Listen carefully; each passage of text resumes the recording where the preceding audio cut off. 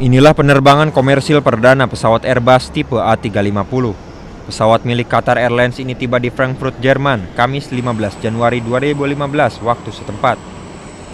Qatar Airlines beruntung menjadi maskapai pertama yang berhak menggunakan pesawat jet berbadan lebar yang dibanderol antara 290 juta sampai 340 juta dolar per unit atau sekitar 3,6 triliun sampai 4,2 triliun rupiah. It is a marvelous aircraft. This is uh, the most efficient uh, large twin aircraft. This is a very quiet one, which, uh, as such, for airports, especially in Europe, like Frankfurt, is essential. And you have tested this aircraft in Heathrow. Sepanjang 2015, Qatar Airlines akan memiliki 8 pesawat serupa Pesawat ini memiliki interior seindah hotel berbintang dengan kapasitas 36 kursi penumpang bisnis dan 247 ekonomi.